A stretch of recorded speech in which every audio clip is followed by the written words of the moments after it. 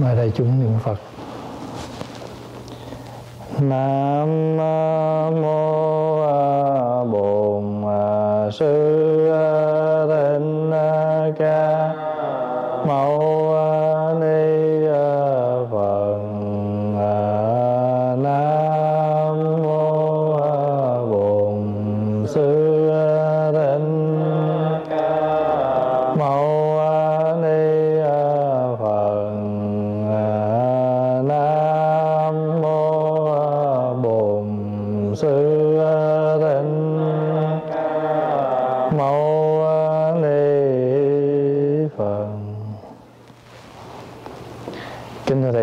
hôm nay là chiều thứ năm, ngày 18 tháng 3 năm 2021. Chúng ta đang ở tại tổ đường tu viện Trúc Lâm để có lớp học kinh với chúng xuất gia. Và chúng ta đang học và nghi thức công phu sáng, đệ thứ hai của chú Thủ Lăng Nghiêm, với chủ đề là sen nở ban mai. Chiều nay là kỳ thứ 19.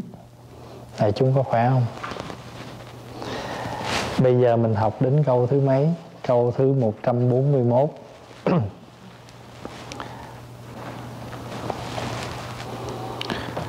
tát Đát Tha và Đô Sắc Ni Sam. Tát Đát Tha già là là Như Lai. Sắc Ni Sam là cái cái đảnh đảnh kế của Phật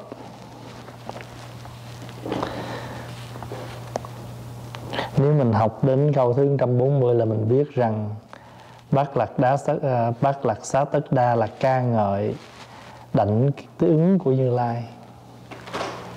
Cái đảnh của Đức Phật được gọi là vô kiến đảnh tướng. Vô kiến là không thể thấy. Đảnh đảnh là cái đỉnh là cái cái thớp nè, thớp hết. Không?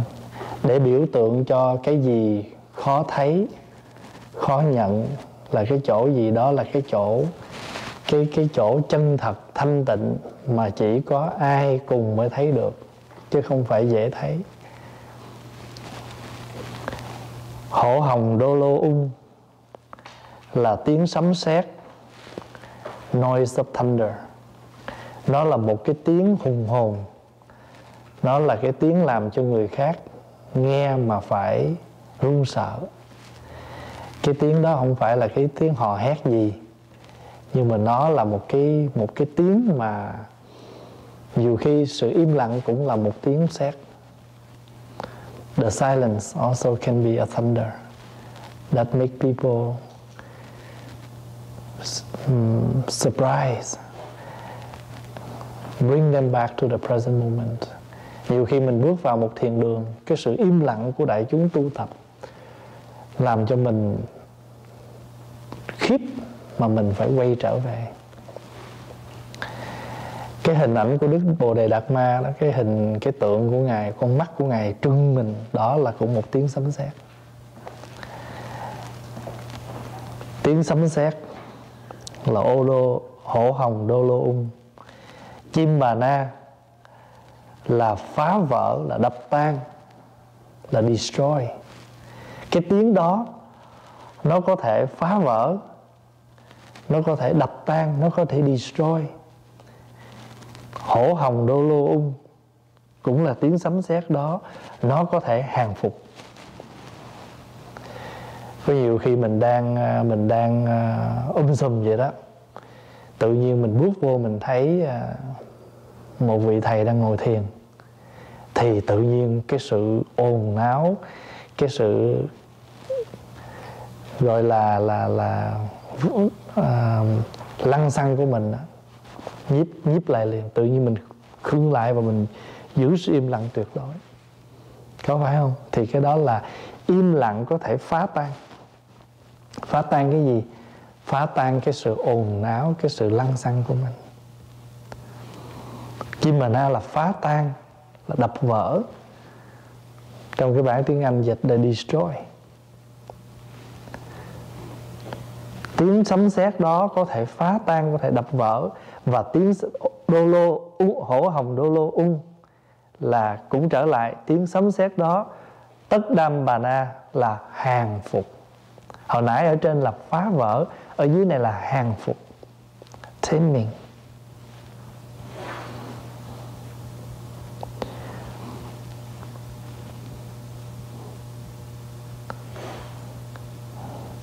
mình nhớ là mấy mấy mấy ba cái, hổ hồng phải không? Hổ hồng đô lô ung, chim bà na. Hổ hồng đô lô ung, tất đam bà na. Hổ hồng đô lô ung, ba ra sắc, ba ra sắc địa, gia tam bát sonoi yết ra. Thì cái chữ hổ hồng đô lô ung là tiếng sấm sét. Tiếng sấm sét này có thể phá vỡ là chim bà na tiếng sấm sét này có thể hàng phục tất đam bà na. Tiếng sấm sét này là thần chú tối thắng, thành tựu và tăng trưởng ba ra sắc địa gia tam bát sono yết ra. Thần chú tối thượng. Is the highest mantra. Will bring us to the successful. Ba ra ba ra sắc địa gia là là thần chú tối thắng. Tối thắng chữ tối là tối tôn, là tổ cùng là sự thành, là cái tối thắng, tối cao. Thành tựu và tăng trưởng.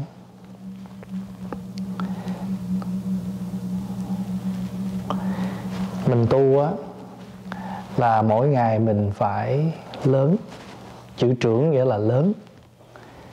Thí dụ mình à, mình có cái tâm tu thì mình mới có gieo cái chủng tử bồ đề. Nhớ không? Hôm trước mình học á chủng tánh bồ đề là mình mới gieo thôi.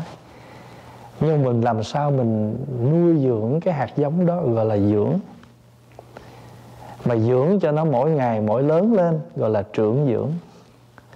Mình không nuôi thì không thể lớn ví dụ như à, hồi đó mình vô chùa mình tu, mình nhỏ, và mỗi ngày đàn na tính thí cúng dường, thầy mình nhận cái đó nuôi mình. Lớn không? Mình lớn cái gì? Mình lớn cái thân của mình. Rồi mỗi ngày thầy dạy mình bằng những bài kinh, dạy về bằng những buổi học. Mỗi ngày mình tăng trưởng cái gì? Tăng trưởng trí tuệ, tăng trưởng sự hiểu biết. Cho nên người người tu á là mình phải tăng trưởng hay nói cách khác hơn là người sống ở đời. Mỗi ngày chúng ta phải tăng trưởng hai thứ. Mình đừng có chỉ tăng trưởng ở cái thể chất thể xác của mình. Physical body grow up is not enough. Mà mình phải làm sao có được cái tâm linh tăng trưởng. Thí dụ như mình à, nguyện cho phật tử mỗi ngày mình phục nguyện tâm bồ đề tăng trưởng phải không? À, thành thử ra nếu mình tu mình học mình sống sao mà mỗi ngày tâm bồ đề mình không có tăng trưởng mà ngược lại với tử tăng trưởng là tâm bồ đề gì? Thối chuyển là mình thấy không xong rồi đó. À, thay vì tâm bồ đề tăng trưởng thì tâm bồ đề mình không có tăng trưởng. Cho nên mình làm sao mỗi ngày mình phải nuôi dưỡng cái tâm thức của mình. À, có nhiều khi người ta đi tìm đủ loại thuốc bổ để uống cho cái thân.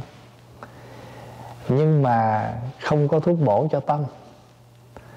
Cho nên khi khổ đến thì nó không có thuốc.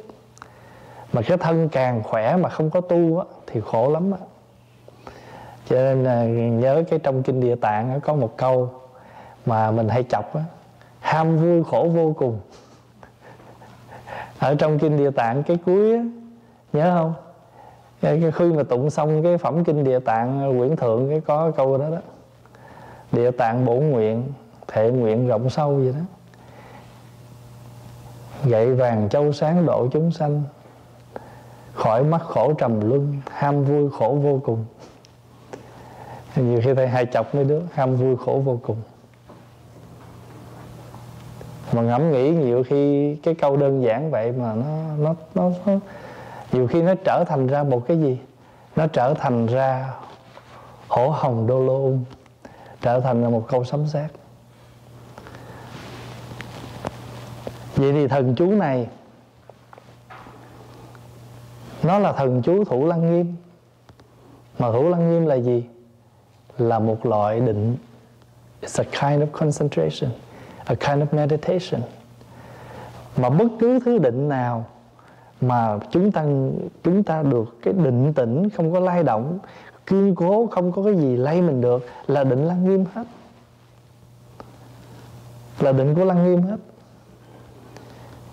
Ví dụ mình tu tập, mà ai nói gì nói mình không có lay chuyển cái sự tu tập của mình, đó là mình có được cái định lăng nghiêm. Và mình, nếu mình ở trong cái chú này, thì mình sẽ thành tựu và tăng trưởng mình làm việc gì mà mình dễ bỏ cuộc á? Mình không có mình không có thành tựu. Và mình nhớ là không có một cái việc gì chúng ta làm mà có thể nó dễ dàng nó thành tựu hết. Mà nếu việc đó mà nó dễ thành tựu thì đôi khi chưa chắc là cái hay, bởi vì nó không làm cho mình trân quý cái thành tựu đó. Và nó có thể nó làm cho mình bị vướng vào một cái bệnh là gì? Tự cao, tự đại mà người tu mà tự cao tự đại là một thất bại lớn. Ba ra sắc địa ba ra sắc địa gia tam bát xoa yết ra, hổ hồng đô lô ung, tác bà dược xoa hắc ra sắc ta. Chữ tác bà là tất cả. Dược xoa là gia sắc dược xoa hắc ra sắc ta là la sát dược xoa la sát.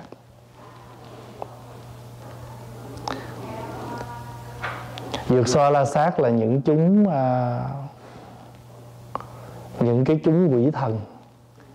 Nhưng mà dược xoa hay la sát cũng đều có những vị thiện hay là ác. Thí dụ như trong kinh pháp hoa đó khi đức phật nói kinh xong thì có các vị la sát nữ nhớ không? Đứng lên phát nguyện hộ trì. Thì trong những cái người những cái vị thần nó có thần thần thần xấu hay thần ác hay thần thiện. Nếu mà các vị thiện từ tại vì sao các vị đó trước kia cũng là ác nhưng mà nhờ nghe pháp và phát tâm trở lại họ hộ pháp. Cách đây khoảng chừng uh, mười mấy năm có một cái chú đó chú đến chùa chú quý y. Mà hồi đó mình thấy chú đi chùa là mình sợ lắm. Tại vì nhiều người đồn nói chú là giang hồ. Trời ơi, mỗi lần chú tới mình sợ lắm. Tại mình sợ chú nóng nảy, sợ chú không có kèm hãm được cái tức giận của chú rồi chú sống theo kiểu giang hồ. Thì có một ngày nọ chú đi nói với mấy phật tử. Chú nói, trời ơi, tôi sợ ông thầy muốn chết luôn tới hồi phật tử kể mình nghe, mình hết hồn, mình nói, trời ơi, tôi sợ ngược lại ổng. Mà ổng thực, đặc biệt là ổng vô chỗ ổng sợ thầy. Sao ổng xin quý y. Thấy tướng ổng là ai cũng ngán hết. Tướng rất là là là là dữ dằn. Nhưng mà sao ông tu? Ông về chùa ông công quả mà thậm chí mấy cô mà có giỡn lỡ lời cái gì ông cũng không buồn, không giận gì hết có nhiều khi ta biết ông quá cái ta, ta thốt lên những cái lời nói kiểu hơi có tính cách giang hồ một chút. Mình sợ ông giận không giận. Đó là diễn dược xoa la sát ta làm gì? Ta hồi đầu. Hồi đó có cái câu đó, hôm qua mặt dạ xoa sáng nay lòng bồ tát. Dạ xoa và la sát chỉ cách một sợi tơ. Tạc nhật dạ xoa tâm, kim triêu bồ tát diện. Tạc nhật dạ xoa tâm, hôm qua lòng dạ xoa. Kim triêu bồ tát diện, sáng nay là mặt của bồ tát. Cho nên mình tu là vậy thôi, tu là sự chuyển hóa, chuyển từ thân cho tới tâm. Người thế gian, người ta có đủ tất cả các pháp để làm đẹp người ta có thể sửa sắc đẹp. Thì tại sao mình tu tập mình không có phương pháp sửa tâm tu là vậy thôi. Tu là không phải là mình sửa cái sắc tướng mà mình sửa cái nội tâm. Mà nó ngộ một cái mà nội tâm mà sửa thì sắc tướng nó đỡ nó đổi theo. Vì nội tâm là cái gốc. Cho nên mình tu theo Phật á, là mình trở về tu với cái gốc. Là tu cái gì? Tu cái tâm tất cả cái vui buồn nó từ cái nguồn tâm hết. Mà trở về chăm bón cái gốc tâm đó thì tự nhiên cành lá nhánh nó đều được tươi mát. Đâu có ai tưới nước mà cầm nước tưới trên trên trên đầu cây đâu. Tưới ngay gốc. Mà hãy tưới được cái gốc thì tự nhiên cái gốc nó hút được nước rồi thì nó tỏa ra. Cho nên cha mẹ mà tu con cái nó cũng tu. Rồi giờ mình nói trời ơi con tôi nó nó nó nó nó nó, nó rất là dở. Kệ nó. Ở trên này nó cứ héo uống sao đó mình cứ lo chăm sóc cái gốc. Từ từ mình sẽ chuyển. Có nhiều khi nó phải thay cành nó phải rụng lá cũ đi thì bắt đầu nó mới ra những chiếc lá mới.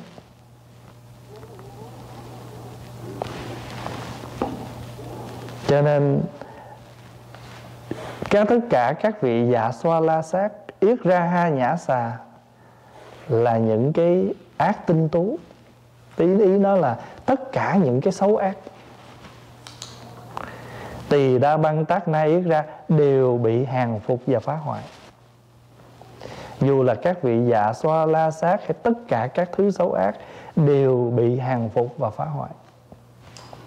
Tỳ đà băng tác na yết ra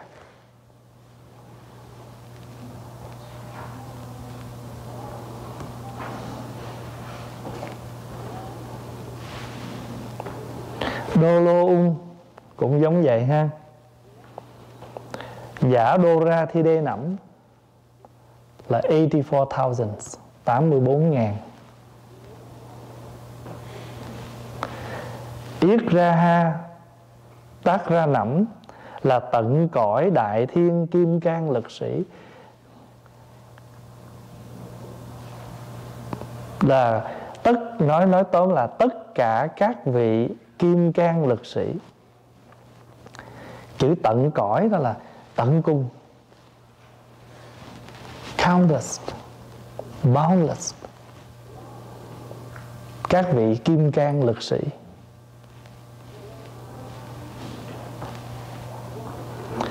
Tỳ đà băng tác na ra, đuổi trừ các loại, các loài ma. Đuổi trừ phá hoại các loài ma. Tỳ đa băng tác na ra. Ý đó là 84.000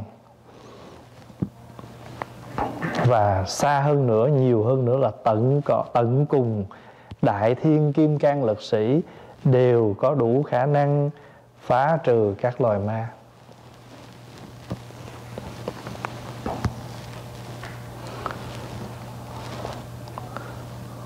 Đô lô ung,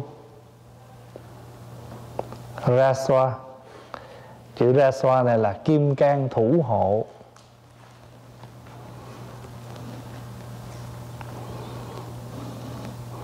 Bây giờ mình nói cái vị thần kim cang thủ hộ này thường các ngài làm việc gì?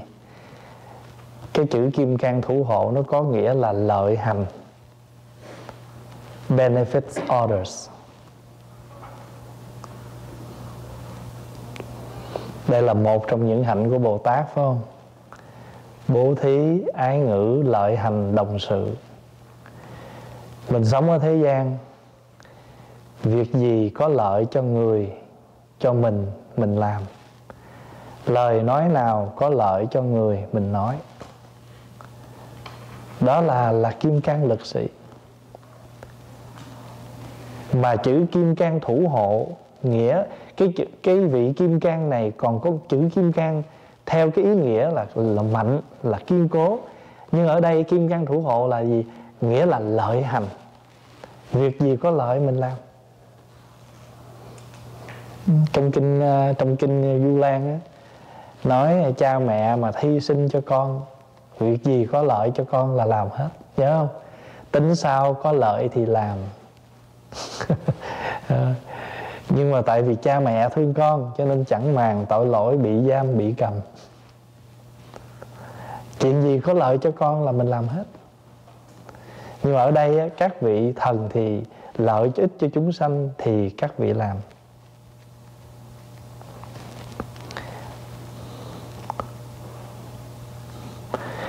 Là lợi hành cho ai?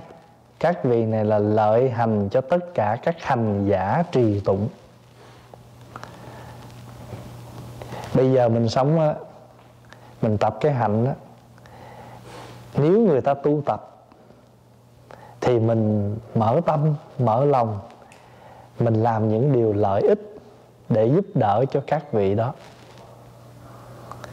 Tại vì các vị đó là những hành giả tu tập, thì mình nên hỗ trợ các hành giả đó. Nghĩa thứ hai của chữ kim cang thủ hộ là gì? Là khả úy. Chữ khả là, chữ chữ úy là sợ. Khả úy tức là đáng đáng sợ. Chữ khả úy này là làm cho cho ai sợ? Làm những loài ma, những loài mà cái gì nó có thể nó tác hại mình phải lui sụp. Khả úy.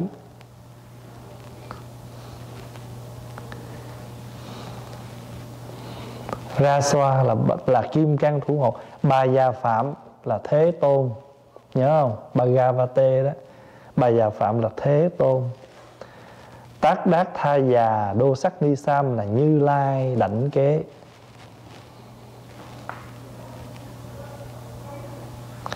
Đại chúng nhớ, chú lăng nghiêm này nói từ đâu ừ đến đại chúng ngưỡng quan quý ái kim bảo cầu phật ai hộ nhất tâm thính phật, vô kiến đẳng tướng phóng quan như lai. Tuyên thuyết thần chú. Vậy thì thần chú này thuyết từ cái đảnh kế của phật. Cho nên nói hồi rồi cái trở lại, xin thành kính ca ngợi đảnh kế này. Và theo như cái cái nghĩa đó. Cái hóa phật đó, đó là biểu tượng cho gì? Biểu tượng cho phương tiện. Biến hóa mà hiểu không? Biến hóa. Mình có thể mình ứng hóa trong tất cả các thứ thân. Thì muốn độ chúng sanh cũng phải có hóa thân. Thiên bách ức hóa thân. Dù có hóa thân cỡ nào đi nữa mà pháp thân vẫn vẫn không có lai động. The embody body và cái dharma body. Thì cái hóa thân đó, cái ứng thân đó có thể ứng hiện ở khắp nơi, khắp cõi. Nhưng mà cái pháp thân thì, cái pháp thân là gì? Là tượng trưng cho cái thân phật pháp. Dharma body dharma body never change. Nhưng mà cái ứng thân thì tùy theo cái nhu cầu chúng sanh mà ứng. Ví dụ như mình tụng các loại sám hối, nào là hồng danh sám hối, nào là tam thiên phật danh, nào là vạn phật sám, nào là địa tạng sám, dược sư sám, quan âm sám, tất cả cái đó là hóa thân hết mà cái pháp thân là gì? Là cuối cùng đưa người ta trở về với sám hối. Tại vì người ta không tụng sám hối thì người ta không hiểu được cái lỗi, cái sai của thế gian mình. Hồi sáng mình tụng kinh kim quang minh đó hồi sáng mình tụng kim quang minh đó thì trong cái phẩm hồi sáng mình tụng là cái gì? Diệt trừ nghiệp chướng.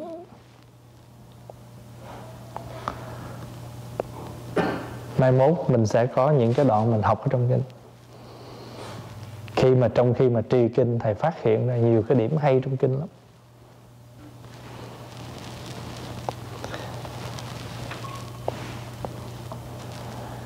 Cho nên là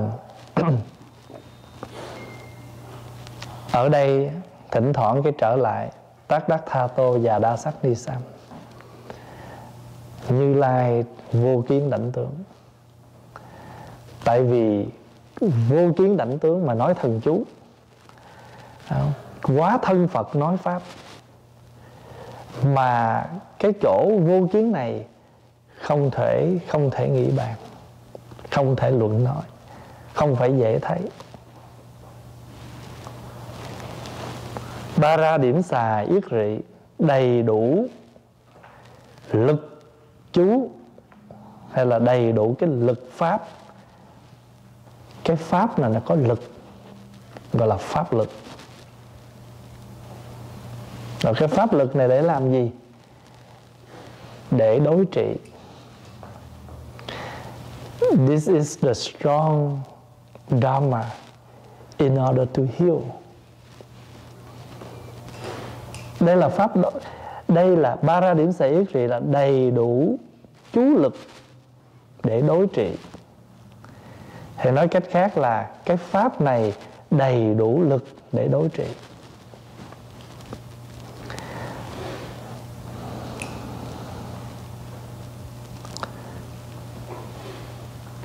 Mình nhớ lúc nào mình cũng được nhắc.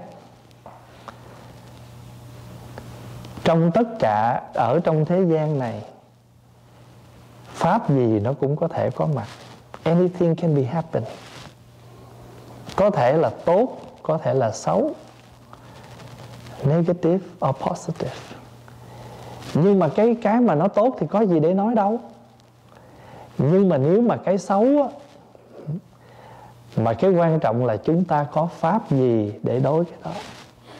Không người nào uống thuốc khi họ không có bệnh. Phải không? Mình bệnh mình đâu có uống thuốc chi? Sở dĩ chúng ta uống thuốc là tại vì chúng ta có bệnh. Như vậy thì cái thuốc đó là cái gì? Thuốc là cái gì? Là đối trị đối trị với cái bệnh. Phải không? Medication là something to heal your disease. Vậy thì cái pháp là cái đối trị. Vậy mình quy y pháp nghĩa là chúng ta trở về nương tựa, tiếp nhận phương thức để đối trị cái khổ của chúng sanh.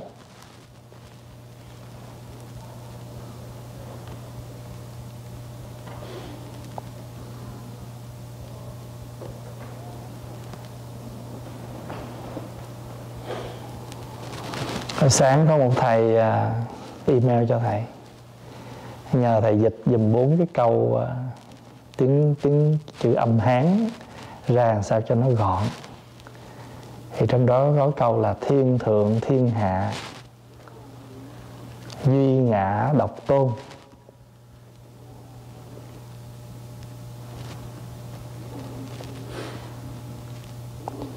Yếu độ chúng sanh sanh lão bệnh tử. Thì thầy dịch cái câu đó là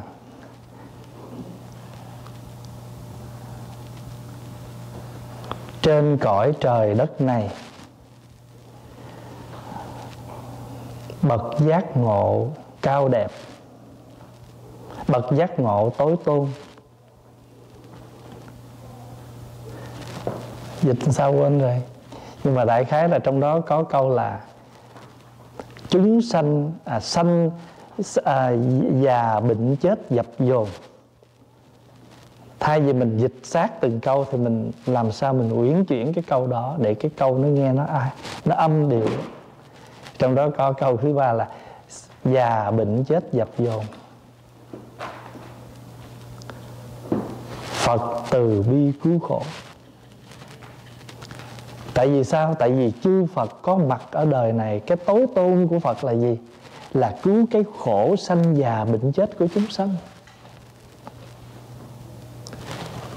Thiên thượng thiên hạ trên trời dưới đất này. Không, thiên thượng thiên hạ, duy ngã độc tốt. Thì cái chỗ ngã ở đây đức phật không nói là xin cái ngã của mình. Nhưng mà cái cái tối tôn trong cõi đời này là gì? Là sự giác ngộ. Đấng giác ngộ, người giác ngộ. Trên cõi trời đất này, người giác ngộ tối tôn. Vì sao? Khổ sanh tử dập dồn. Cái khổ sanh tử nó dập dồn. Trên thế gian có nhiều người vừa sanh ra, có những đứa em nhỏ nó vừa sanh ra thôi, là nó mắc bệnh tim. Có đứa sanh ra bị này, bị kia, phải không? Mình đã từng vào trong bệnh viện, thăm và và hộ niệm cho biết bao nhiêu trẻ em vừa sanh ra là mắc bệnh mà có những em bệnh không phải ít. Có những em vừa sanh ra ung thư. Có nhiều em vừa sanh ra thì bị bị à, bị tim. Có nhiều em mình vô thấy tội lắm đeo dây đầy hết trơn. Mà mới sanh thôi. Mới sanh ra thôi mà nghĩa là cái cái cái cái cái, cái sự hiểu biết chưa có gì hết. Nhưng mà đâu có ai nói, nếu mà sống mà sanh, rồi mới già, rồi mới bệnh, rồi mới chết, đó là sống hạnh phúc rồi, sống theo có order, có thứ lớp. Nhưng mà cuộc đời này có những người sanh ra, họ đâu có sống thứ lớp đâu, chưa già mà bệnh. Còn trẻ khô mà chết. Vậy thì trong cái cõi đời khổ lụy này cái gì là là tối tôn? Sự giác ngộ tối tôn. Người mà giác ngộ rồi thì cái khổ sanh tử dập dồn, nó không hề lay chuyển mình. Tại sao? Vì mình biết rõ nó. Tu không phải là, cái chiều khi người ta nói là tu để giải thoát sanh tử. Thì có nhiều người hiểu là, ô, tức là mình tu để mình không có nhiều vị đặt trời ơi, sao con tu mà con bệnh quá à? ủa, bộ tu không bệnh sao? Tu rồi không già sao? Phải không? Tu vẫn bệnh, vẫn già. Nhưng mà cái già cái thể chất thôi, nhưng mà tinh thần không già, không bệnh. Trên trong cái bài sám mà tịnh độ, nó có câu gì nè? Đã sanh về chính phẩm sen. Đã sanh về chính phẩm sen. Nếu mà mình đã sanh về ở cõi cõi à, là cái cõi đó rồi thì sao? Sự vui trời cũng chẳng bì. Đêm đêm thông thả ngày thì vui chơi. Sống lâu kiếp kiếp đời đời không già không chết không dời đi đâu. Đó diễn tả cõi cực lạc. Nhưng mà cái, cái cực lạc đó nếu mà mình mình nghiệm nó ra là gì? Nghĩa là mình vẫn bị chi phối. Nhưng nói là giận dẫn chi phối, nhưng mà không khổ lụy theo cái chi phối đó. Cái đó là thoát được sanh tử. Thí dụ mình không hiểu đạo thôi, mình nhìn hình, mình già, mình buồn chứ. Mình mình thậm chí có nhiều nói, trời tôi tu quá mà sao tôi bệnh? Tôi tu quá mà sao tôi thế này? Anh tu là anh có được cái pháp. Mà nếu như cái khổ đó nó đến mà mình ứng dụng được cái pháp để mình điều phục những cái khổ đó thì mình biết được giá trị của pháp. Còn tăng á, là một đoàn thể phải không? Này đoàn thể này sống sao mà hài hòa một đoàn thể phải không? Ngũ quẩn có phải là một đoàn thể không? Sangha is five skanda Skanda chứ không phải scandal nha. Chana là tiếng Phạn Gọi là ngũ quẩn Sắc, thọ, tưởng, hành, thức. Có phải thân thể mình là một tổng hợp của ngũ quẩn không? Làm sao mình điều phục ngũ quẩn này mỗi ngày cho nó hòa hợp? Thấy nó hơi nóng nóng cái đi kiếm nước mát uống rồi. Thấy mà đầu hơi ấm ấm là bắt đầu đi kiếm thuốc mà uống rồi. Uống thuốc để làm gì? Để điều phục nó, làm cho nó sống hài hòa với nhau. Ăn đồ chiên nóng nhiều quá kiếm cái gì ăn vô để cho nó mát dịu trở lại. Cái mình bước lên xe mà cái xe mình nó lạnh quá mở sưởi lên liền để cái sưởi đó nó làm cho cái sắc uẩn này dễ chịu. Mà khi mà oh I feel warm now. Thọ uẩn. Rồi à, mà rồi cái hỏi giờ dễ chịu chưa? You feel comfortable now? Và sắc uẩn anh ok chưa? Tôi cảm thấy đủ ấm rồi. Là thọ quận. Hồi nãy tôi vô, tôi nhìn cái xe, tôi tưởng ấm lắm chứ. Cái tưởng uẩn nó không đúng. Bước vô trong xe, thọ quận nó lạnh. Thì bây giờ mình biết làm điều phục lại cái tư tưởng. Cho nên thân thể mình là một tổng hợp của ngũ quẩn và mình tu là để mình quán thân thọ tâm pháp phải không? Body feelings mental formation consciousness. Ở trong cái pháp uh, tứ niệm xứ. Cái gì khởi lên biết? Đó là tất. Vậy thì chúng ta tu tập là để tiếp nhận cái pháp. Cái pháp để để làm gì? Để mà chúng ta ứng xử với những cái những cái sự việc nó đến với mình hai cái đều gọi là pháp hết. Một cái là phật pháp và một cái là các hiện tượng. Chữ pháp nó cùng một cùng một cái chữ đó, nhưng mà tùy việc mà nó thành chữ, thành nghĩa. Thị chư pháp, trong kinh bát nhã, thì chữ pháp này không phải là phật pháp nữa mà là gì? Là các hiện tượng sự vật. Any any happens, any situations. Chúng ta đều, pháp nào đến, chúng ta đều có phương pháp, đều có phật pháp. Pháp đối trị.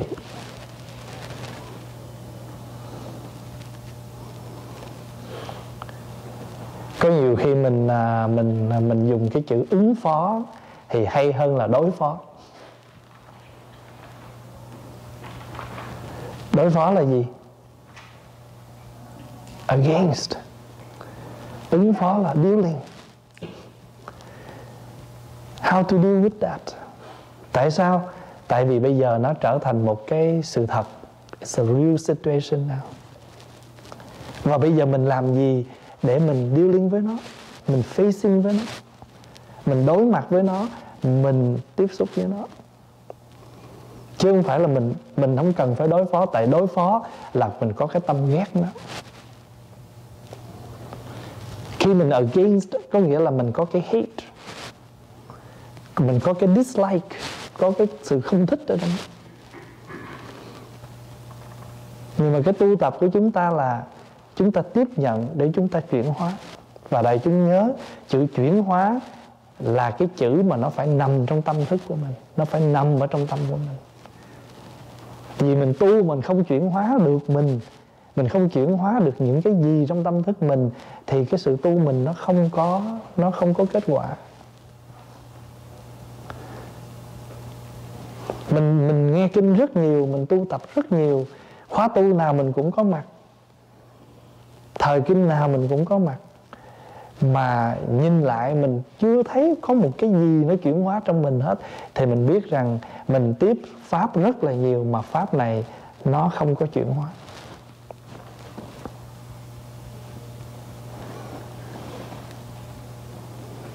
Hồi trưa có một uh, sư cô gọi thăm và tâm sự những phật sự khó khăn thế này thế kia.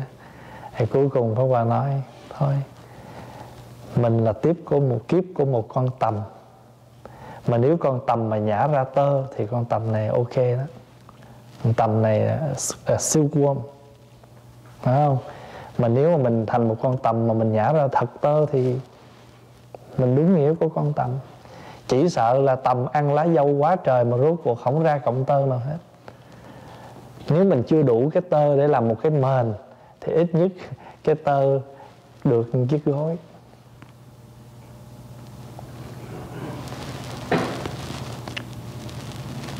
Ba ra điểm xà yết rị. Maha taha tác ra. Đây là một con số. Số này là số lớn một ngàn. Bột thọ ta ha, Tất ra, thất rị xa Là cánh tay hùng mạnh. Mighty arms.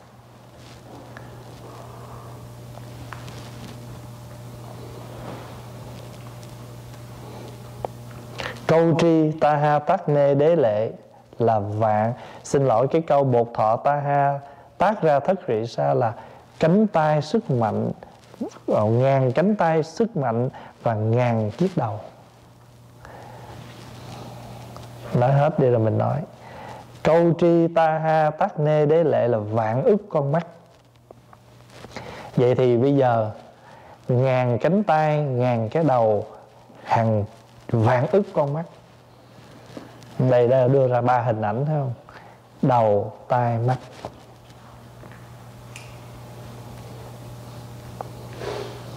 Cái mắt là tượng trưng cho cái gì? Ừ. con mắt là tượng trưng cho cái gì? Tượng cho cái nhìn, phải không? Mắt thì phải nhìn, tai thì tượng trưng cho cái gì? Hành động.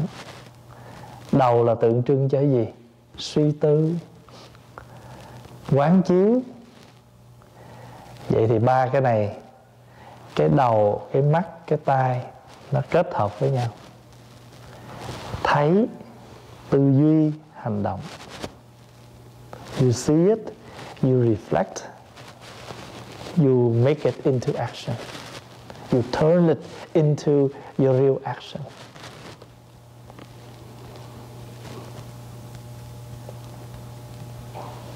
Mình sống ở đời. Nhiều khi mình thấy vậy, nhưng nếu mình thiếu tư duy, cũng không nghĩa là mình hiểu vậy. Thấy vậy thôi mà mình không suy nghĩ coi lý do nào. Mình la lối lên thì nó hư chuyện. Chừng phải để mình tư duy. Tại sao là như vậy? Cái này nó xảy ra hoài trong đời sống. Có nhiều khi mình thấy người đó tự nhiên bưng cái này ra để đây, Cái mình la lên, Tự nhiên bưng cái này ra để đây chi? Cái tự nhiên cái vị cái à ờ, tôi mới nhờ nó bưng ra đó. Cái mình quê quá, mình đi nước luôn.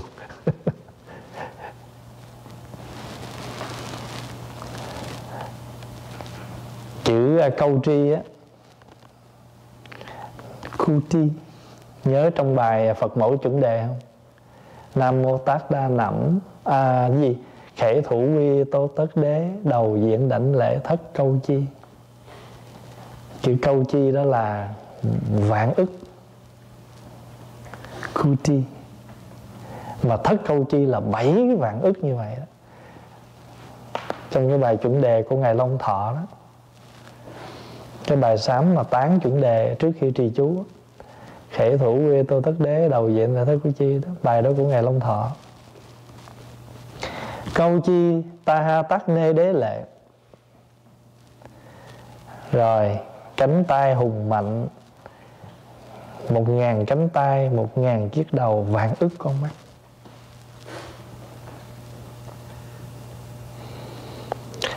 A tệ đề thị bà rị đa, chiếu sáng vi diệu beautiful miraculously shining. A thể đà a thể, a tệ đề.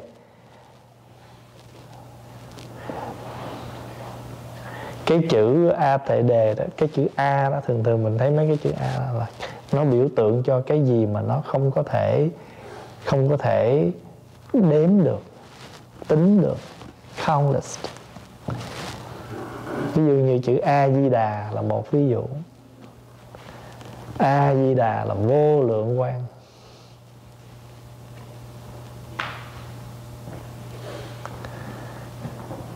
hay là chữ a tỳ địa ngục. Chữ a tỳ là gì? Là vô gián. Non stop câu tri ta ha tác nê đế lệ, a tệ đề thị bà rỉ tra chiếu sáng vi diệu, tra tra anh ca, vô biên vô bến. Không có bờ bến. Cái ánh sáng này nó chiếu không bờ bến, nó chiếu vi diệu.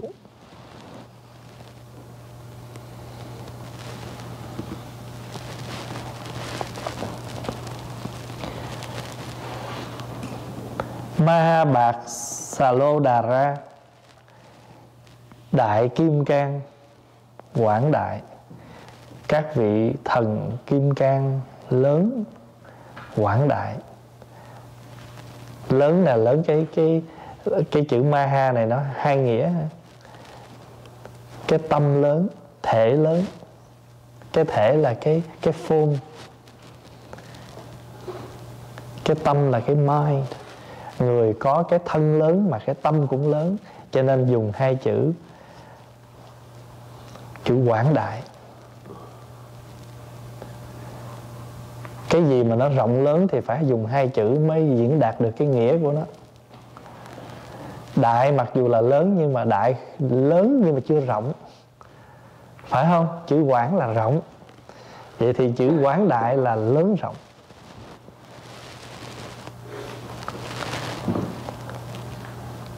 Đế đế rị bồ bà na là ba cõi. The three rhymes.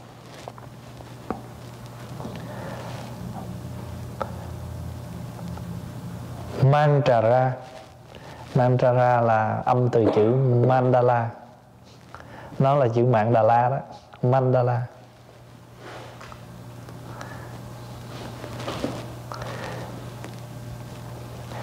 Chữ mạng Đà La là gì?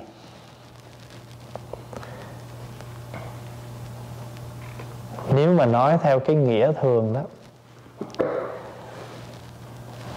cái chữ mạng đà la là một cái biểu tượng của à, vũ trụ trong đó chứa đựng những cái tinh túy biểu thị của cái nhìn đối với một bậc giác ngộ ta nhìn tất cả trong một cái hình ảnh của mạng đà la trong đó chứa đựng những tinh túy. Mình ví dụ nha ví dụ như bây giờ mình à, người ta có một cái khổ người ta nhìn cái khổ đó và trong cái khổ đó nó chứa được những cái gì để người ta rút tỉa những cái hay, những cái tinh ba trong cuộc sống. Thầy đưa một cái ví dụ. Cái covid 19 này, nó có phải là một cái hình ảnh để cho mọi người nhìn vào đó và rút được những tinh túy gì của cái lần đại dịch này không? Người đó có nhìn. Còn cái người mà ta không nhìn là ta không thấy người ta cứ nói bệnh dịch vậy thôi. Nhưng mà với cái nhìn của những người mà có tư duy á, thì thì người ta nhìn tổng thể của cái dịch dịch 19 này, người ta sẽ rút ra được những cái tinh túy của cuộc sống. Từ cái ý nghĩa vô thường, từ cái sự tinh tế của nó bằng đủ thứ cái nhìn hết. Người chính trị người ta cũng có thể nhìn cái chuyện covid này bằng cặp mắt của chính trị.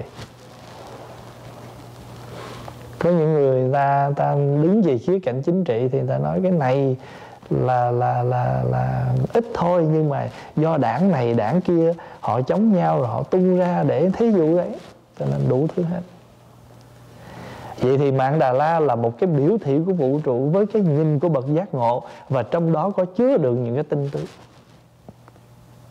đó, mình nói theo cái nghĩa.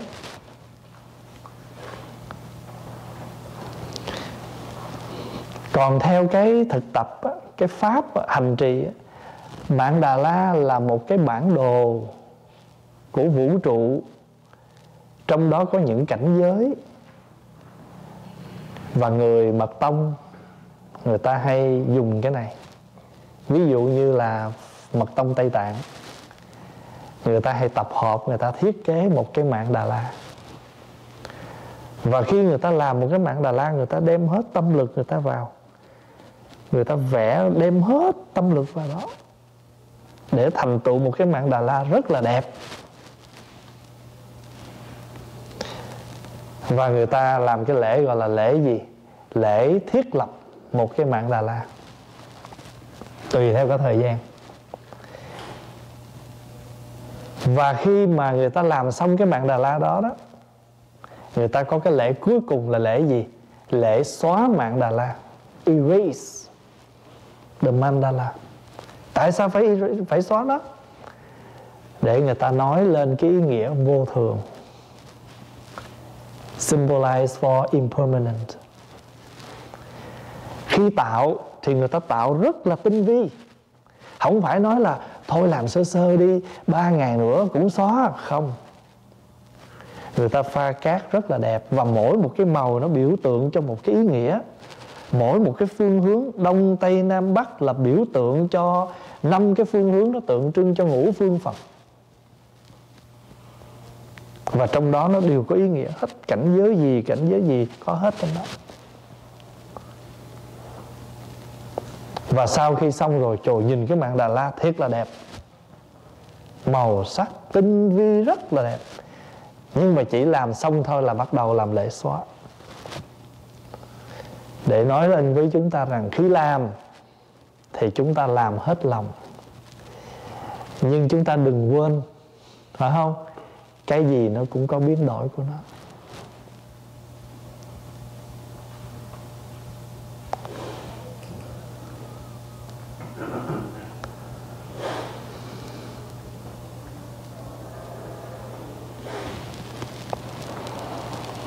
Còn nếu đứng trên cái diện mà hành trì á, mạng đà la là một đạo tràng một đạo tràng để bảo hộ, để mà xác định cái cái cái ranh giới của hành giả tu tập.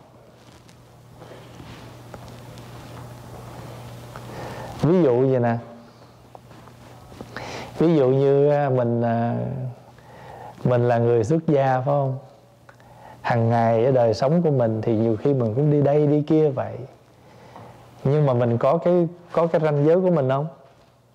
Hmm? do we have any border? Có chứ. Ví dụ như bảo đảm là mình không thể nào xâm lấn vô tới quán bar, quán rượu. Phải không nào? Chứ đâu phải là ranh giới của mình muốn đi đâu đi đâu. À, hay là vũ trường, hay là sòng bài, mấy chỗ đó đó cho không phải. Nó mình phải có cái mạng đà la của mình cho nên thường thường ở trong những cái đàn tràng á, người ta thiết lập một cái đàn tràng hành trì nào là người ta hay có lễ sái tịnh á.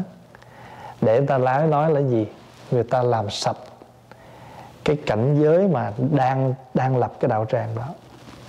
Ví dụ như mình tụng dược sư 49 ngày, mình cũng có đạo tràng của dược sư của mình. Rồi ví dụ như ở nhà mình nó có một cái phòng nào mình thờ phật đó là đàn tràng của mình đó. Đó là mạng đà la của mình đó.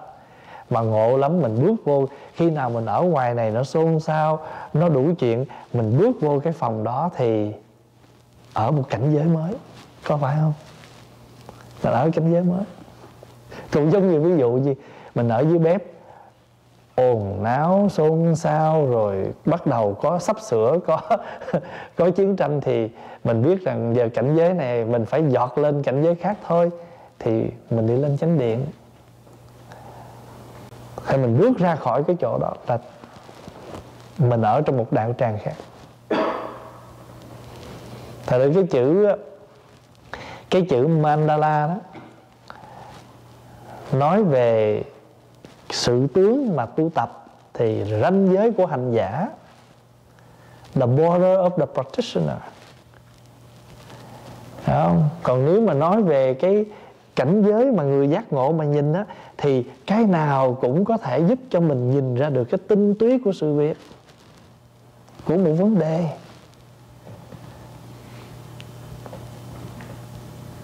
cái nào nó cũng có cái cái cái cái root ở trong đó. Ví dụ như mình nghe hai người đó gây lộn, thì mình nghe một bên lợi nghe, kể cho mình nghe là mình nổi máu anh hùng, mình lên mình phụ chửi với người kia đi. Nhưng mà mình quên rằng, mình quên nhìn cái sự việc, nó có cái tinh túy của nó nó có cái gốc rễ của nó. Nãy giờ mình nghe, mình mới nghe có một phần, có phải không? Thì như vậy nếu mình nghe chưa kỹ thì mình có thể mình bị biên kiến, tà kiến kiến thủ kiến, giới cấm thủ kiến. Nhiều khi một việc mà mình nhìn thôi, có thể mình rơi đủ bốn trạng thái của cái nhìn. Chấp chặt vào ý kiến của mình là kiến thủ kiến. Chấp vào những cái gì mình học hiểu được gọi là gì? Giới cấm thủ kiến. Mình nhìn lệch lạc là tà kiến mình nhìn có một bên gọi là biên kiến.